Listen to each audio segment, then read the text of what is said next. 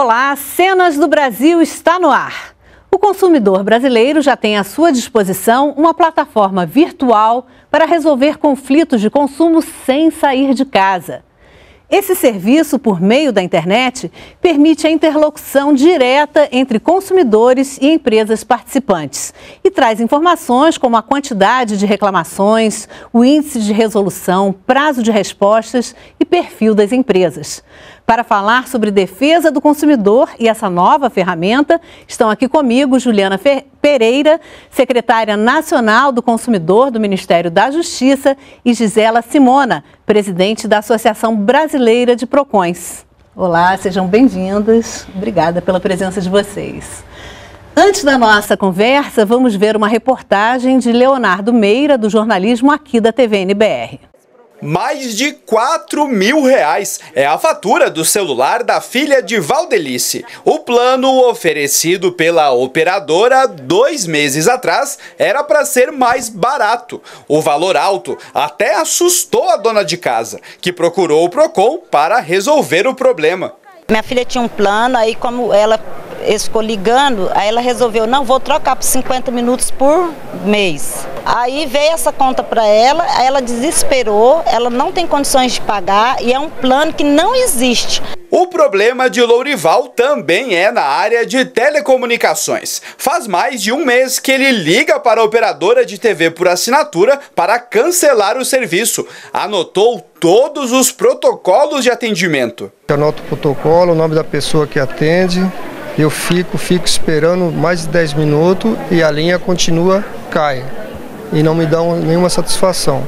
Esses são só alguns dos casos que chegam todos os dias nas unidades do Procon espalhadas pelo Brasil e um portal do governo federal na internet, lançado há menos de dois meses, permite que os clientes também façam reclamações no mundo virtual. O portal já tem 127 empresas cadastradas e 52 em fase de credenciamento. Mais de 18.500 consumidores já aderiram ao portal e 9 mil reclamações foram registradas. A maioria foi feita por homens. A faixa etária que mais usa a plataforma fica entre 31 e 40 anos. E a maior parte dos clientes procura diretamente a empresa antes de recorrer ao site. A área que ocupa a liderança no registro de queixas é a de telecomunicações, seguida pela de serviços financeiros. Hoje, a plataforma pode ser acessada por consumidores de 16 estados.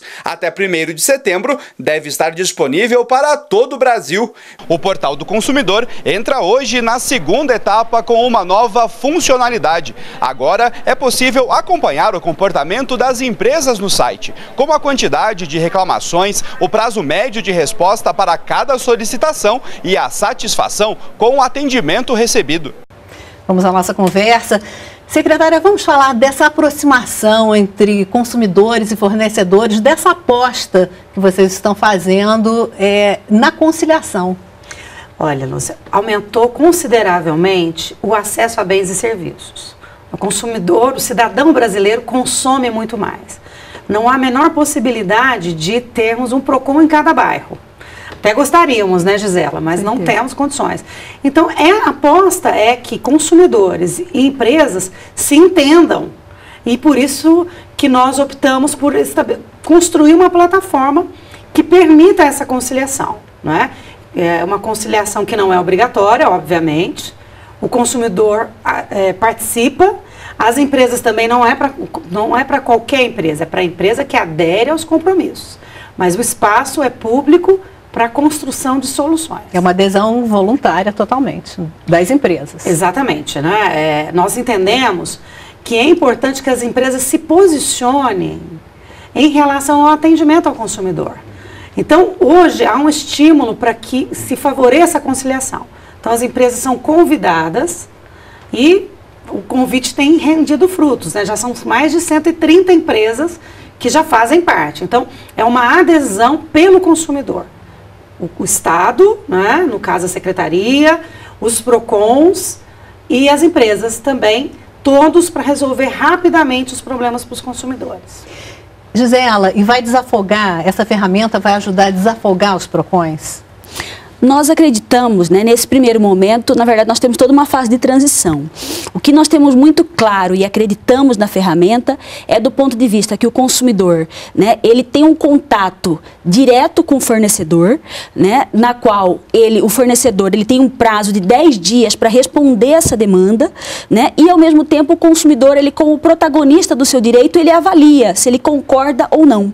E a partir daquele momento em que há uma avaliação eventualmente negativa daquele atendimento que a empresa deu, é que os PROCONs, monitorando nessa ferramenta, vão de alguma forma dizer ao consumidor qual é o próximo passo que ele precisa dar. Esse é o papel né? do PROCON nessa ferramenta. Esse é o papel do PROCON. Né? Então vejam que há uma facilidade do acesso, ao mesmo tempo a agilidade, né? ou seja, os PROCONs né, que durante décadas aí justamente se credibilizaram por esse atendimento pessoal ao cidadão, não que isso acaba, né? porque nós estamos aí num processo da sociedade de inclusão digital também, mas nós temos aí, a, a ideia é que é, a médio prazo nós temos aí a população muitas vezes é, não tendo mais que ir, às vezes, em alguns PROCONs pela dificuldade do transporte, Perder pela questão inteiro. da dificuldade né, de pegar uma senha, de enfrentar uma fila para esse atendimento, mas que ela acabe reclamando nessa ferramenta né, que funciona 24 horas por dia, os sete dias da semana.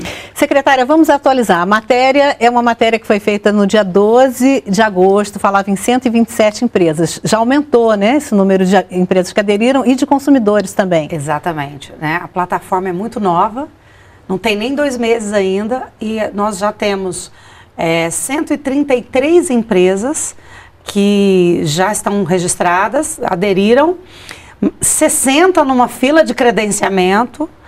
E a novidade também é que ela já é nacional. Nós fomos faseando por etapas uh, a, a, a, a, desculpa, a participação por estado, mas agora também já, já é nacional.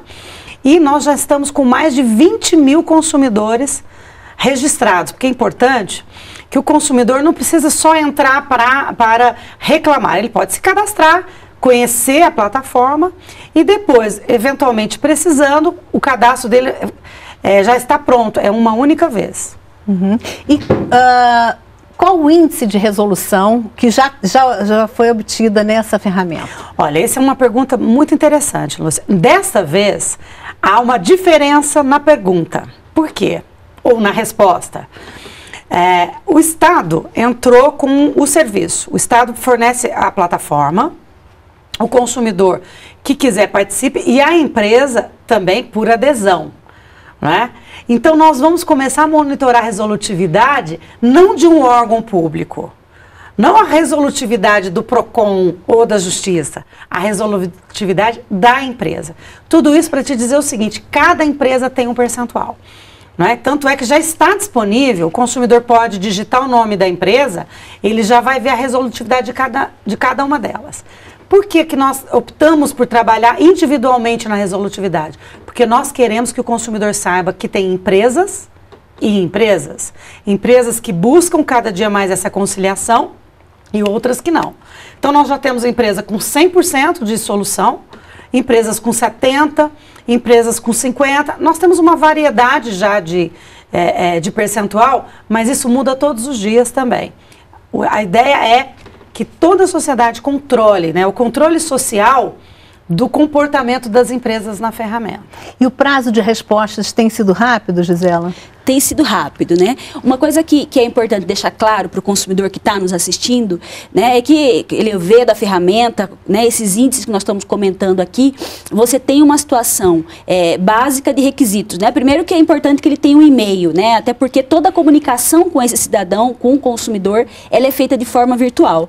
E, ao mesmo tempo, você tem essa situação da empresa estar cadastrada ou não nesse site, né? Então, embora, como eu disse anteriormente, nós temos um prazo médio médio, né, um prazo legal estabelecido de 10 dias para que a empresa dê essa resposta, nós temos aí uma variação. Empresas com um prazo médio de resposta de dois dias, né, outras com cinco dias e outras realmente resolvendo dentro dos 10 dias, que é aquilo que está no termo de compromisso que ela assinou, então, para resolver o problema. Né? Mas o que é bastante bacana e dá essa transparência para o cidadão nessa resolutividade é exatamente que quando você digita o nome da empresa, você consegue ter esse perfil, né? Ou seja, qual é o tempo que essa empresa está resolvendo? Então você consegue avaliar isso no tempo de resolução e no percentual de resolutividade dessa empresa. O que é interessante também até para a questão do direito de escolha, né? Antes de eu comprar um determinado produto, a marca, enfim, é importante você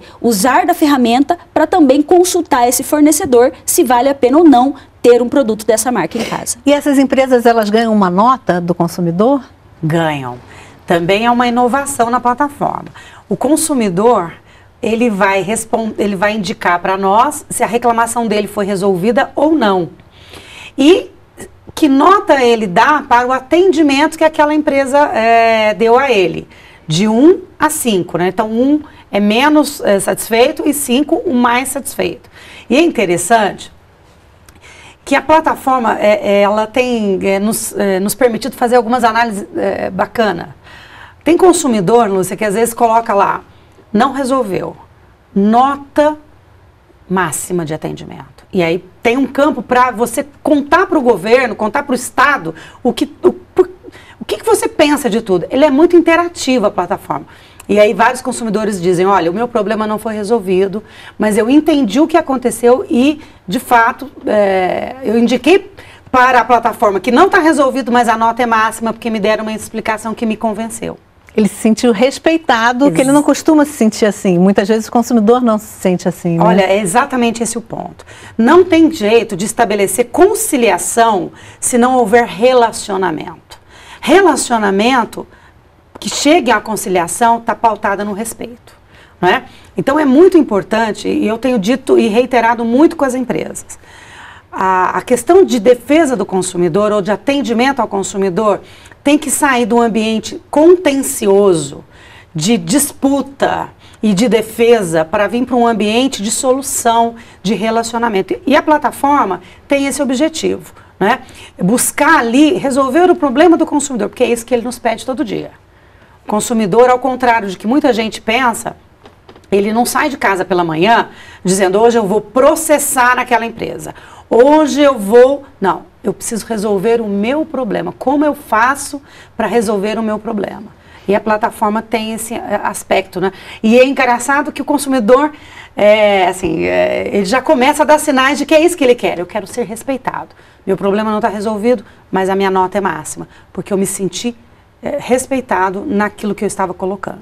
O brasileiro é conciliador, é, Gisela, a, a secretária estava falando isso, né? Que a pessoa não sai de casa querendo entrar com uma ação judicial, né? É, há essa maturidade para conciliação aqui no país?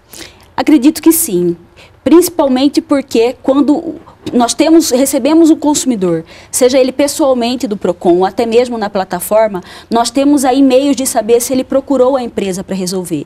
E nós temos índices acima de 80% dizendo que esse consumidor procurou a empresa para resolver. Então é por isso que eu acredito sim nesse espírito conciliador, né? Eu quero resolver o meu problema. Então, isso é bastante presente na vida dos PROCONs e o consumidor que nos procura, de fato, ele quer resolver o seu problema. É só realmente quando ele tem é, uma insistência da empresa né, em não respeitar os seus direitos, em não atendê-lo da forma como a lei estabelece, é que então ele acaba resolvendo é, aí como né, a via possível que é o Poder Judiciário. É esse índice acima de 80% de pessoas que já procuraram a empresa que vão procurar a ferramenta é, digital. É isso que vocês orientam. Primeiro procurar a empresa para, uh, mesmo já estando cadastrado, depois reclamar pelo consumidor.gov. É, exatamente. Por quê?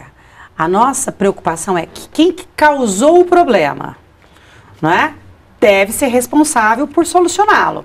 Então é importante que o consumidor procure primeiramente a empresa, ou a empresa, ou a empresa fabricante, ou o lojista, ou a empresa de telefonia, não interessa qual seja. Não obtendo êxito, e aí procurar os canais de solução de conflitos.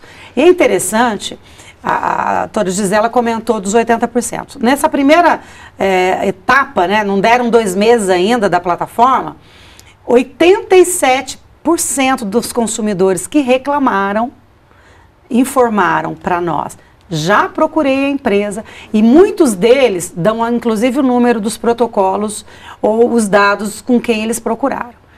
Eu acho que reforça claramente que o consumidor quer diálogo. Quem procura a empresa quer, quer dialogar.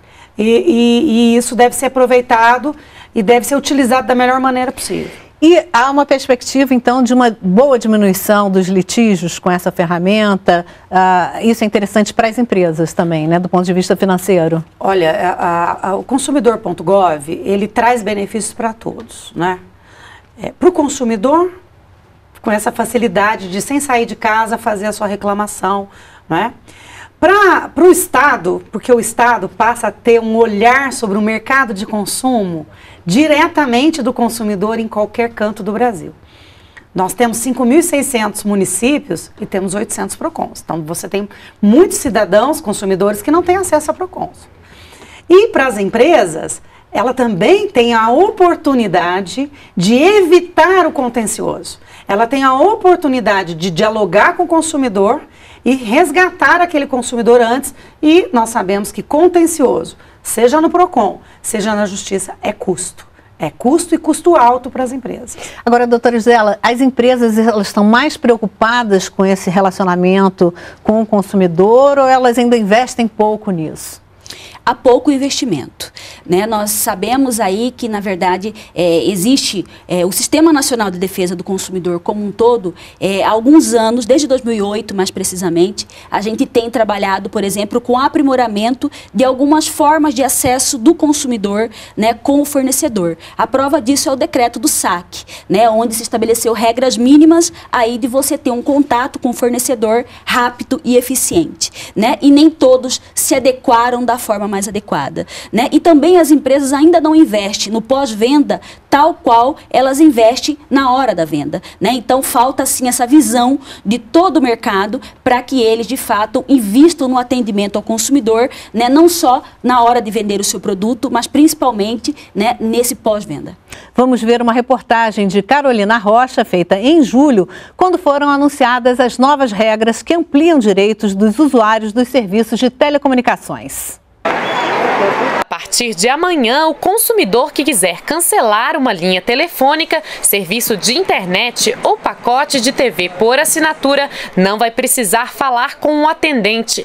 A empresa responsável pelo serviço está obrigada a disponibilizar o cancelamento automático na internet ou por ligação telefônica com uma opção que pode ser escolhida apertando uma tecla.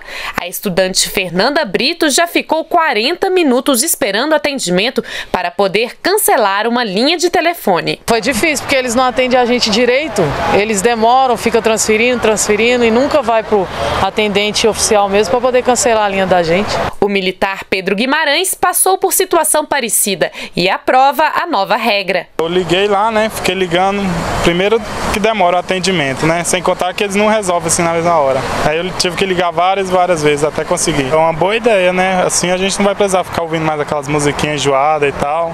Elaborar essa e outras medidas que vão facilitar a vida do consumidor, a Anatel levou em conta as reclamações feitas na sua central de atendimento. Somente no ano passado foram mais de 3 milhões de queixas contra empresas de telecomunicações, a maioria delas relacionada à cobrança indevida de contas. Esse problema a Anatel quer resolver fixando em 30 dias o prazo máximo para que a empresa responda à reclamação do cliente de uma fatura cobrada injustamente. Se não houver resposta nesse período, se o consumidor já tiver feito o pagamento, pode ter o reembolso de até o dobro da quantia. Quando eles mandam a cobrança que a gente reclama, então é, é a gente reclama lá e fala que resolve e, e demora um bom tempo para resolver, né? E assim às vezes não acontece, né? Outras medidas que passam a valer a partir desta terça-feira são a validade mínima de 30 dias para os créditos de celulares pré-pagos, a obrigação de que qualquer promoção feita para novos clientes seja oferecida também a clientes antigos, a responsabilidade da empresa em retornar a ligação de atendimento ao cliente caso a chamada tenha caído no meio da conversa. Se não conseguir o contato, a empresa deve se comunicar por mensagem de texto com o consumidor consumidor. Bom, porque facilita, né? Porque a gente tem vezes que a gente não tem culpa, porque cai a ligação, a gente já está gastando já pelo aquilo e agora não. Tipo, é uma forma de ressarcir os nós consumidores. Bom, secretária, como é que está isso? Essas novas regras estão valendo? Porque houve questionamento judicial por parte das empresas, né? Exatamente. Ah, eles, eh, duas associações eh, entraram com ações para suspender os efeitos eh, desse novo regulamento. No primeiro momento, foi concedida uma liminar, ou seja, o Poder Judiciário entendeu que deveria suspender mesmo, mas isso já foi revertido. Né? Então, a liminar que as empresas tinham já não está valendo mais. Mas tem alguns dispositivos numa outra ação que estão ainda sendo discutidas judicialmente. Claro que é, eu fico imaginando assim, o quanto isso é ruim para os consumidores. Né? A agência, é, no âmbito do, da defesa do consumidor, né, a reportagem falou das reclamações que a Anatel tem. Mas a própria Sistema Nacional de Defesa do Consumidor também apresentou uma, uma, lista de reclamações para a agência reguladora, discutiu com a agência essas melhorias, não é?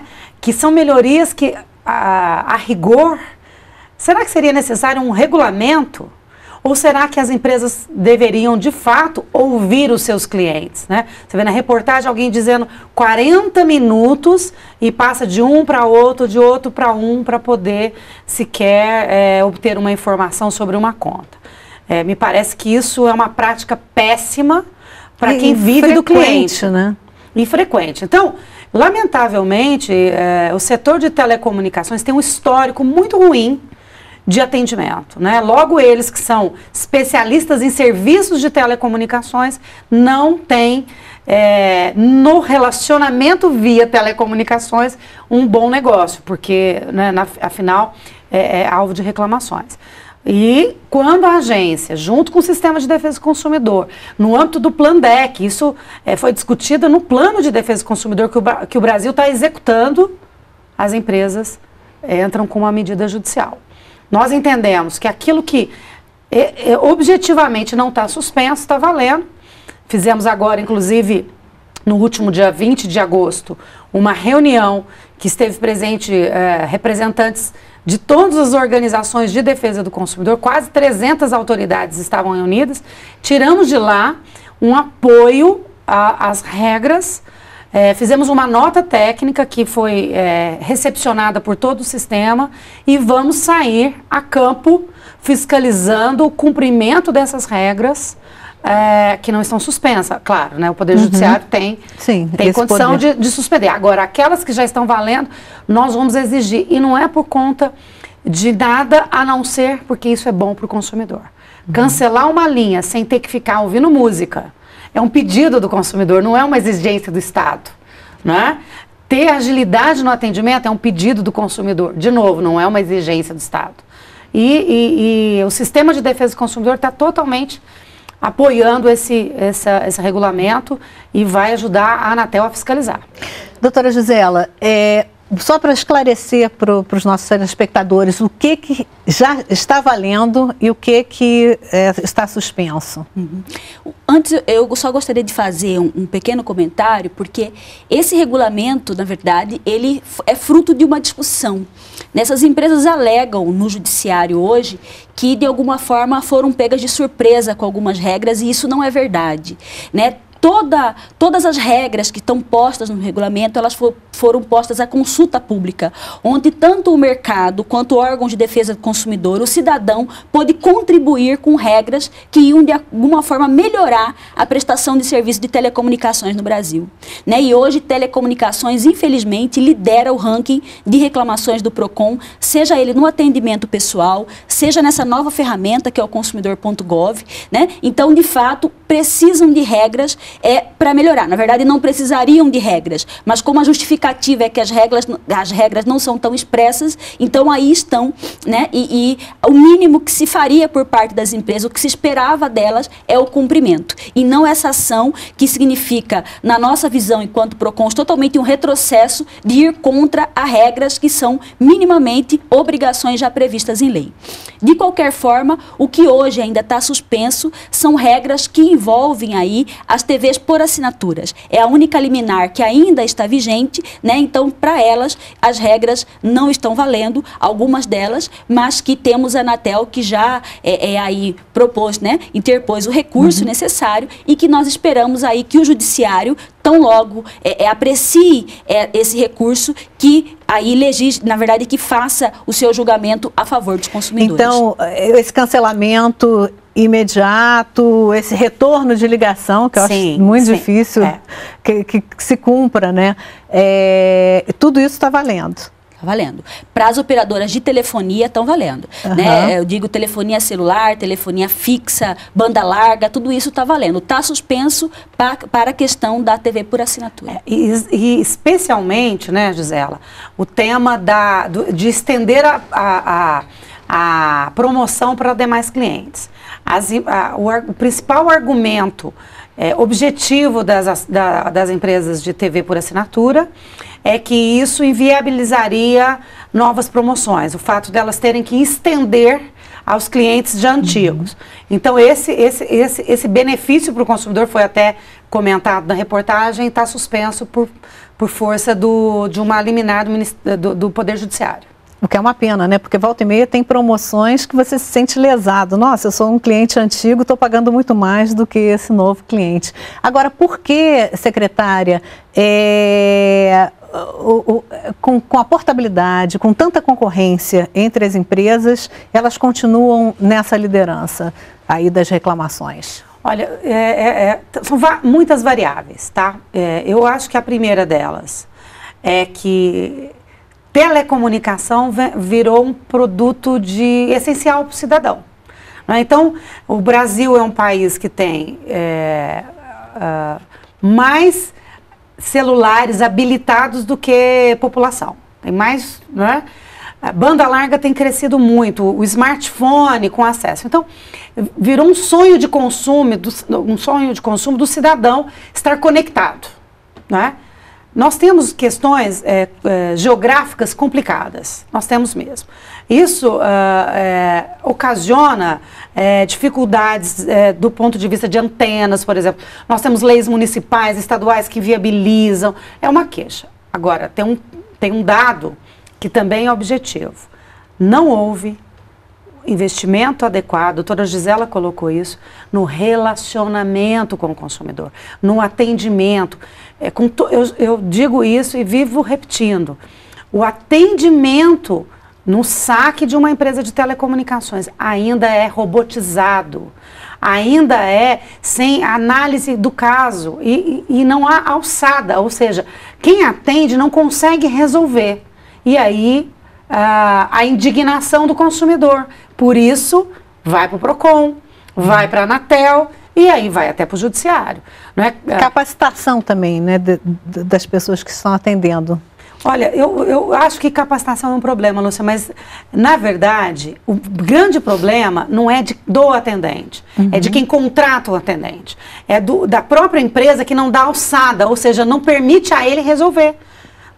Porque alçada nada mais é do que isso. Você atende, há uma reclamação, você observa que é procedente, você não tem condições de resolver.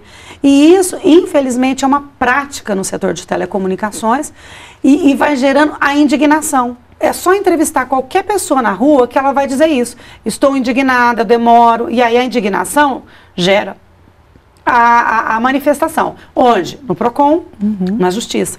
E aí as telecomunicações do, de um lado, são, é, o serviço de telecomunicação é um, é um serviço é, que está na vida de todo mundo. Né? As pessoas hoje é, dão mais valor a um celular do que a qualquer coisa. Por quê? Porque é um, é, um, é um meio de comunicação muito importante. Só que, de outro lado, não se deu o devido valor a atendimento ao consumidor. Eu repito, porque o consumidor, de novo, ele não quer o processo pelo processo. Ele não quer ir no PROCON pelo PROCON, ele quer que o problema dele seja resolvido uhum. e que seja respeitado. No caso da banda larga, a secretária está falando né, que houve um crescimento muito grande desse serviço, é, fica muito confuso, né, porque por lei Uh, as empresas não são obrigadas a, a, a, entregar tudo que prometem, né? É, fica muito difícil para a gente saber o que, que realmente a gente tem direito. Então, um outro fator que, que eu acredito que agrega o fato de telecomunicações é, ele está no topo de reclamações hoje é exatamente a questão um pouco da, das normativas que envolvem o setor de telecomunicações. Né? Nós temos uma lei de telecomunicações no país é, é, que já não atende mais as necessidades atuais e nós temos também alguns normativos da Anatel, é, como esse da banda larga, que vem prevendo é, situações que comparando com o Código de Defesa do Consumidor, na verdade oferecem um serviço aquém do que aquilo que deve ser ofertado por força de lei. Né? Nós tivemos aí, a partir da, de 15 de março né, do ano passado, com a edição do Plandec, que é o Plano Nacional né, de Consumo e Cidadania, uma aproximação da Anatel com a própria Secretaria Nacional de Consumidor e com todo o Sistema Nacional de Defesa do Consumidor. Então, eu acredito que essa aproximação e o próprio Plandec, ele pode, já está trazendo bons frutos para o cidadão, né? porque, na verdade, é de alguma forma fazer com que a Anatel, é, do ponto de vista regulatório também, ela tenha uma visão mais de quem está do outro lado do balcão, que é o consumidor. Né? Então, é, é, é fatos como esse, né, que na verdade acabam fazendo com que se tenha demanda, seja no Procon ou seja no judiciário, é, nós temos aí acreditamos, né, que na verdade essas resoluções, elas tendo esse olhar também voltado para o público do consumidor, né, elas podem evitar é, situações como essa. E nessa plataforma, uh, no consumidor.gov.br, há empresas na área de telecomunicações ca cadastradas? Todas elas. As empresas de telecomunicações, é, de uma maneira, é, foi bem colocado pela doutora Gisela, é, elas passaram por uma fase de negação do serviço de atendimento ao consumidor, dos PROCONs, tivemos fases muito difíceis, né? É, e agora estamos numa nova fase, uma fase em que há uma aproximação e um diálogo. Por quê? Porque a situação está insustentável. O custo de, é, que as empresas têm com conflitos altíssimo. É? E esse custo acaba sendo é, é, é atrapalhando investimentos e outras, outras é, questões que envolvem o próprio serviço de telecomunicação. Então, é, de uma maneira interessante, todas vieram, né, a exceção de uma, perdão, falei todas, mas me lembrei, a uma de TV por assinatura, que até agora não assinou o termo, mas 99 uhum das empresas estão. E as outras, e as outras reclamações? Né? No ranking é telecomunicações, é o que? Bancos? Serviços financeiros. Serviços financeiros, planos de saúde? Não, não. Olha, no consumidor Gov, né, é, é, nós é, temos um, é, é, setores um pouco diferentes do, do, dos PROCONs. Mas temos também serviços financeiros, temos muito de comércio eletrônico. Né? É, o consumidor que compra pela internet e não recebe o produto, e não recebe, recebe não consegue comprar no preço ofertado. Porque outro problema também que gera muito descontentamento para o consumidor é aquilo que se promete e não se cumpre, como você acabou de dizer da banda larga. Não é? Usam recursos como ilimitado, ilimitado, e depois não entregam nem aquilo é, que foi contratado. Isso acontece no comércio eletrônico também. É, na hora de comprar, a oferta do o banner estava lá como oferta, e na hora que você clica, não consegue comprar. Os bancos estão cadastrados? A, a, quase todos os bancos. Nós temos o setor financeiro, Planos de saúde, temos poucas empresas cadastradas. No transporte aéreo, temos duas empresas, né? temos apenas duas, e mais as outras duas que são, atuam no mercado nacional estão entrando. É, indústria, temos muitas indústrias já, com, principalmente indústrias de linha branca, geladeiras e fogões, e aparelho elétrico eletrônicos e celulares. Varejo, né? Ao varejo uhum. também. Só para encerrar esse bloco, e a perspectiva, vocês veem uma perspectiva de uma boa ampliação desse número de empresas e quais, eh, né, falar aí também para as empresas das vantagens para elas. Olha, é, só o fato de no, nós, é, assim, a divulgação ter sido pequena, da, da, da, existência da nova plataforma, até por conta de todas as restrições é, eleitorais. Então a divulgação foi pequena. É, nós saímos do lançamento há menos de dois meses atrás, de, com 40 empresas e temos 133 e 60 já credenciadas. Então, a, a progressão tem sido geométrica né, no, no, no crescimento. É, eu acredito que a melhor propaganda nesse caso é o boca a boca. O consumidor que tiver um problema resolvido na plataforma vai contar para o amigo, vai contar para o outro, uh, vai contar na rede social, vai contar para todos aqueles. E as empresas começaram já a fazer publicidade entre elas sobre o, os benefícios. Por quê? Atende centralizadamente, né? você tem condições de resgatar o consumidor antes de ir para a justiça. Então, eu pessoalmente né, já fui convidada nos últimos dias para falar dessa plataforma no setor de varejo, uh, na área de planos de saúde. Agora fui recentemente, estive recentemente com é, um grupo de e-commerce né, de empresas uhum. que atuam no comércio eletrônico. Então, acho que a divulgação, é, é, acho que as empresas estão começando a verificar de fato o quanto é bom para elas também aderir a essa plataforma, estar ali disposta à conciliação. Bom, nós estamos falando sobre a nova plataforma, o consumidor.gov.br. É, ele foi sendo implementado por etapas, né? Que, que são, o que, que é agora a nova etapa? O que, que já existe? A gente fazer um resuminho e o que, que é agora a nova etapa? A primeira etapa é, é, foi a etapa de construção. É, ela foi, ele, a, o consumidor Gov foi construído em conjunto com os PROCONs. É, foi construído e lançado pelo Ministério da Justiça, mas foi construído o conceito dele junto com os PROCONs. E, da mesma forma, uh, apresentado para as empresas. Então, a primeira etapa foi Há um conceito, há um site, consumidores, cadastrem-se, apropriem-se. A segunda etapa é, é começar a divulgar um pouco do perfil das empresas que ali estão. Então, hoje, recentemente, o consumidor já pode clicar, ver a empresa que participa e como ela se comporta dentro da plataforma. A próxima etapa, que deve ser entregue nos próximos 30 dias, é ranqueamento entre empresas do mesmo setor. É? Então, como é que estão as companhias aéreas? Como é que estão os planos de saúde? Como estão as telecomunicações, né, as empresas que acabávamos de falar? E sempre, Lúcia, do, do, do que mais é, é, ajuda o consumidor, que mais se concilia para quem menos se concilia. Nós queremos que a plataforma seja uma plataforma pública, que todos possam olhar para aquela página e, e ver quem tem melhores indicadores. Né? Inaugurar aí um, uh, uma competitividade nova, né? a competitividade, a disputa entre eles pela melhoria e pelos índices positivos de soluções aos consumidores. Doutora Gisela, como né, essa plataforma uh, vai ajudar a aprimorar, como a, doutora, a secretária vem, vem falando, as relações de consumo no país? Bom, primeiro é você conseguir chegar né, onde os PROCONs não conseguiam de alguma forma chegar.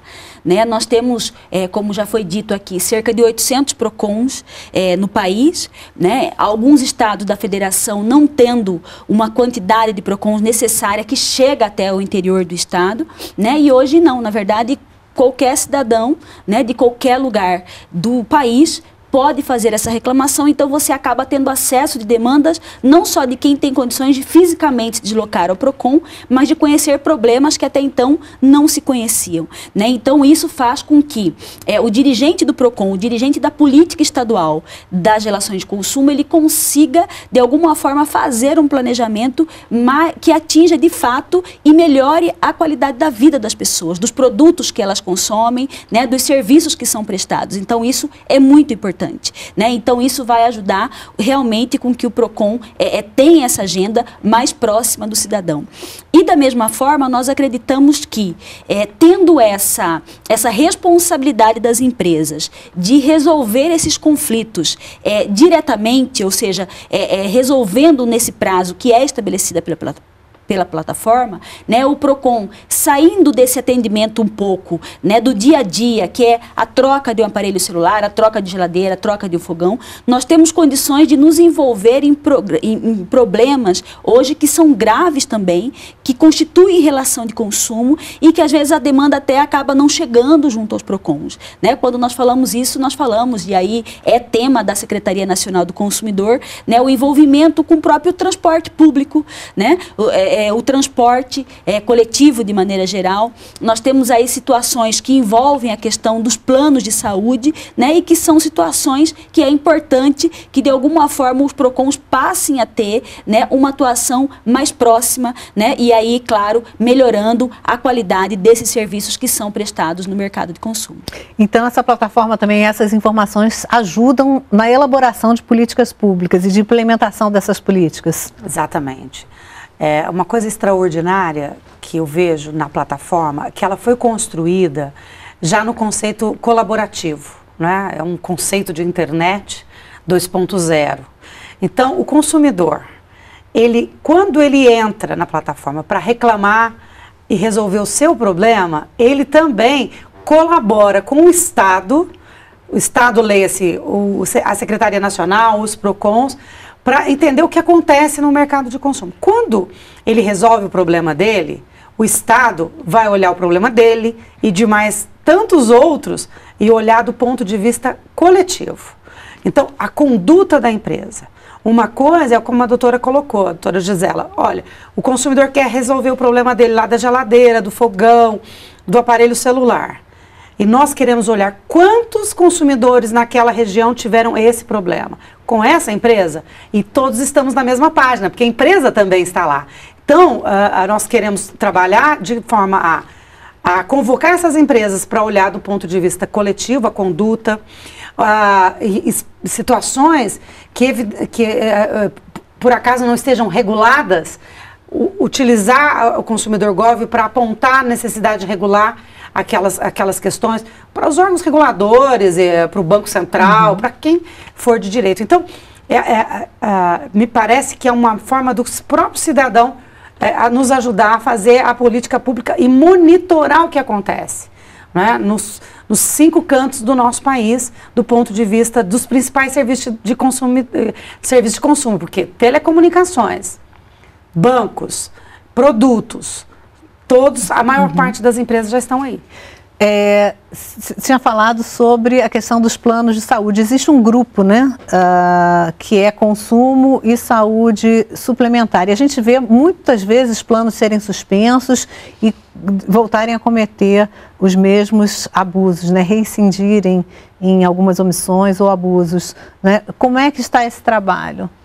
Então, uma grande demanda que tem chegado aos PROCONs de maneira geral, envolvendo a questão dos planos coletivos. Né? Nós temos a, a ANS, que é a Agência Nacional de Saúde, de alguma forma entendendo é, que não regula esse tipo de plano, porém esse é o problema do cidadão consumidor hoje que tem plano de saúde. Ou seja, para ele ter um plano de saúde, ele não tem aquele plano que ele vai lá e contrata direto com o plano de saúde, mas é por intermédio de uma associação, de um sindicato, né, si, da empresa que ele trabalha, o que faz com que seja um plano coletivo e que, na verdade, é aí precisa né, de toda um, um acompanhamento e de uma adequação à legislação.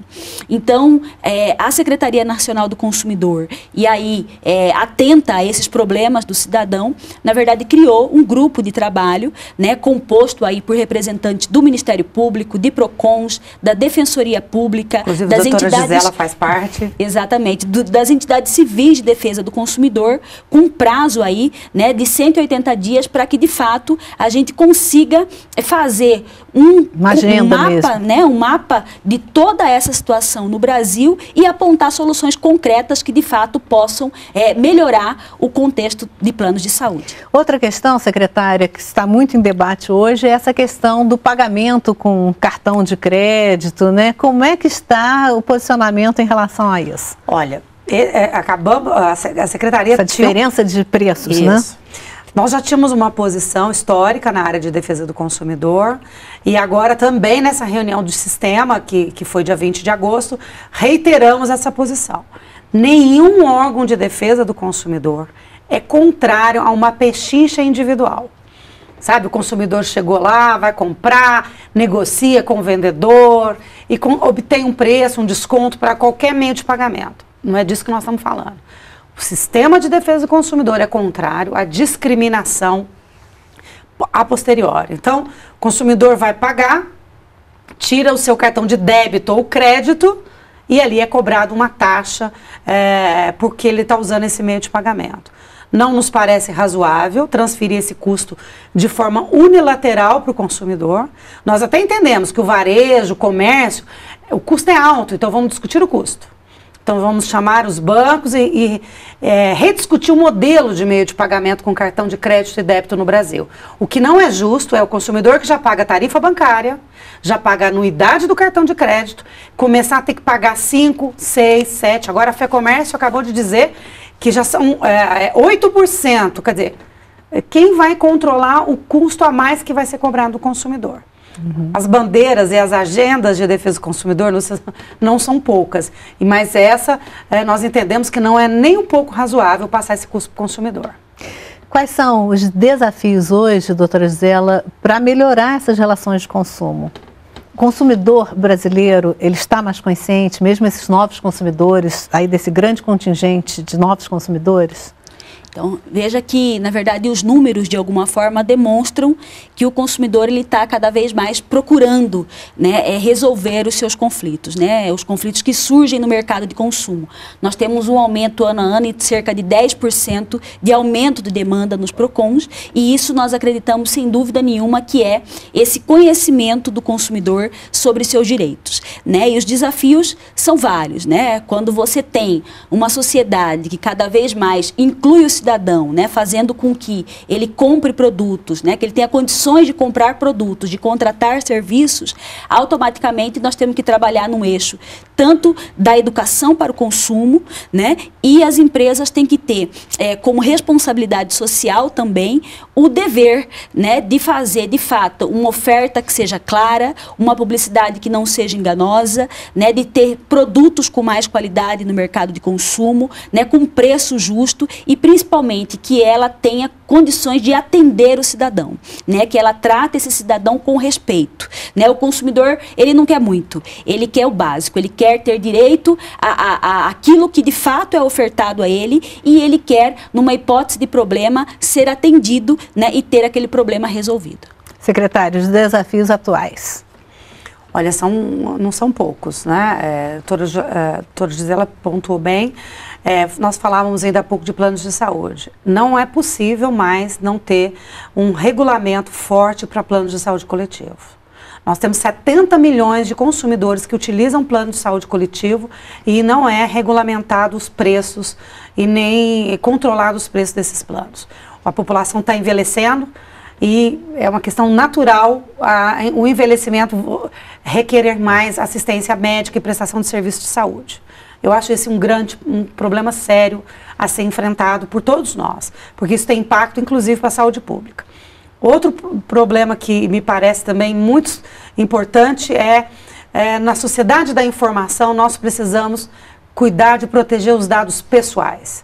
Né? Nós temos hoje, cada dia mais, o uso de bancos de dados para comparar consumidores, para ofertar serviços. E o Brasil ainda não tem um regulamento de proteção de dados pessoais. Estamos trabalhando, discutindo, mas são grandes desafios. Acho que um outro desafio bastante grande para nós é, é, cuidar dos serviços eminentemente públicos, né? como o transporte. Eu, eu, é, eu tenho uma, uma preocupação que nós é, cuidamos de, de, de, transporte aéreo, né? Vamos para os aeroportos, tem PROCON no aeroporto e na rodoviária. E na rodoviária interna, né? Também é relação de consumo. E eu acho que a população, inclusive, porque se manifestou muito publicamente que exige qualidade nos serviços de transporte e mobilidade urbana. Enfim, poderíamos falar de tantos outros temas, o e-commerce que cresce, ou seja, o comércio eletrônico que cresce, que necessita de um é, é, de uma é, de, uma, de uma regulação cada dia mais presente para evitar as fraudes. Quantas fraudes não existem no comércio eletrônico? O, o, a questão de preparar os consumidores também é, é um dado a educação muito importante. mesmo, é educação. Né? É, é, é, e talvez o consumidor Gov, voltando para a nossa plataforma um pouquinho, Lúcia, ele tem esse condão. Porque na medida que o próprio consumidor dialoga e, e busca informação, ele vai também exercendo o seu direito. Eu acho que o consumidor, ele sabe a injustiça. Ele sempre sabe. Porque a injustiça é um negócio que todo mundo percebe. O que nós temos hoje é a ampliação dos meios de se manifestar. Redes sociais, PROCONs, juizado, o cidadão não se cala mais. Então, a sociedade, o Estado, o mercado, tem que estar preparado para um cidadão que não se cala, para um consumidor que não se cala. Esse é um grande desafio, dar as respostas que o cidadão necessita. E hoje, realmente, o consumidor tem muito mais voz, né? Através de todos esses meios. Bom, nosso tempo chegou ao final, eu vou dar um minuto para cada uma para as considerações finais de vocês. Doutora Gisela.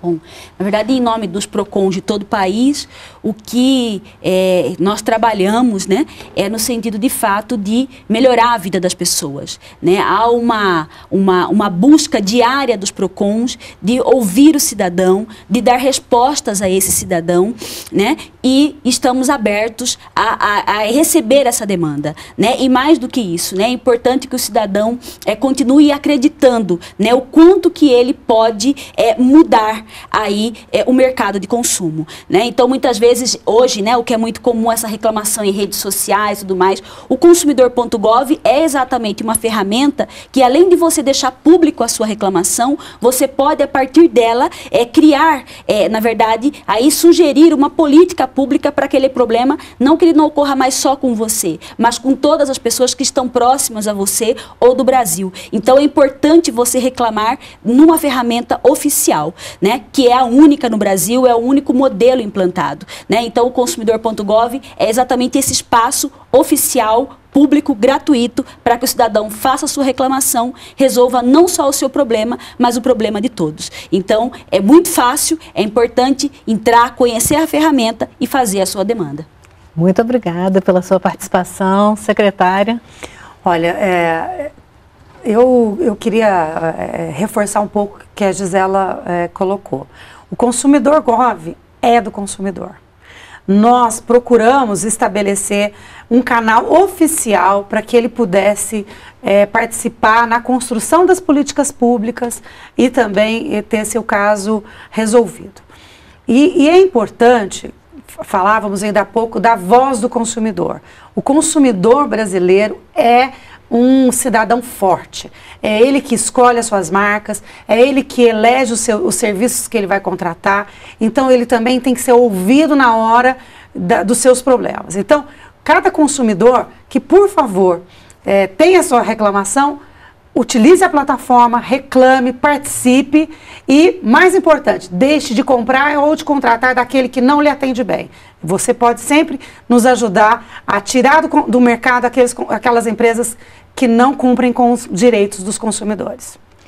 Então, para se cadastrar né, ou para a empresa aderir, é o www.consumidor.gov.br. Muito obrigada pela participação de vocês. Cenas do Brasil fica por aqui. Hoje falamos sobre defesa do consumidor. Agradecemos a participação de nossas convidadas, Juliana Pereira, secretária nacional do Consumidor do Ministério da Justiça, e Gisela Simona, presidente da Associação Brasileira de Procões. Agradecemos também a sua audiência e você pode rever o Cenas do Brasil no YouTube, www.youtube.com/tvnbr. E pode mandar sua sugestão para o nosso programa pelo endereço eletrônico cenasdobrazil@ebc.com.br, pelo facebook.com/tvnbr ou pelo twitter.com barra TVNBR. Sua opinião é muito importante para nós. Na semana que vem, novas cenas, novas questões. A gente se encontra até lá.